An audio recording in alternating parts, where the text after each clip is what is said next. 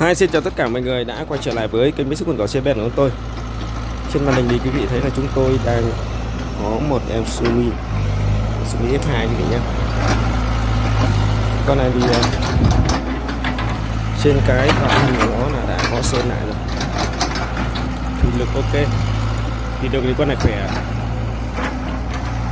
Máy móc hoạt động trơn tru con này sẽ bao test cho tất cả quý bà con bác nào mà đang cần sử dụng thằng Sumi F2 này.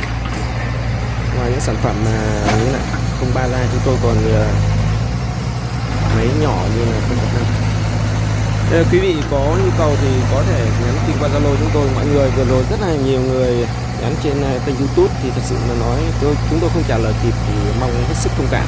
Và cái vấn đề này chúng tôi đã nói rất là nhiều lần rồi mọi người cứ nhắn tin trực tiếp qua Zalo, nó nổi tin nhắn lên. Hoặc gọi điện trực tiếp, thì chúng tôi sẽ gửi những chi tiết để quý vị tham khảo. Ừ, Về phần con này thì chúng tôi sẽ báo giá luôn 230 triệu cho anh em bà con cô bác nào cần sử dụng dòng Sumi. Con Sumi này thì à, anh em khu vực miền Tây khá là ưa chuộng, bởi vì nó khá là nhanh. Nhanh và khỏe. Chuẩn bây giờ thì thân ái xin chào, hẹn gặp lại tất cả mọi người ở những video tiếp theo của kênh số cầu và xe ben của tôi.